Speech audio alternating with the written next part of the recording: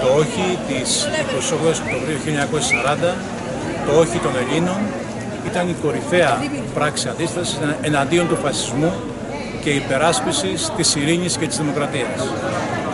80 χρόνια μετά, οι νεοέλληνες καλούν να πούνε αρκετά όχι. Με κυριότερο βέβαια την επιθετική στάση της Τουρκίας, του εξανατολός γειτονά μας, που θα μας βρει ενωμένους, θα το γνωρίζει πολύ καλά αυτά, ως μία γροθιά σε κάθε επιθετική ενέργεια.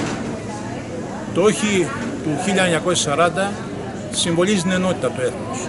Συμβολίζει, είναι κορυφαία πράξη προς υπαντίστασης, συμβολίζει την ενότητα αλλά και το όραμα για μια νέα Ελλάδα, για μια καλύτερη Ελλάδα.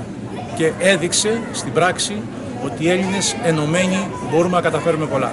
Χρόνια πολλά σε όλους. Ευχαριστούμε.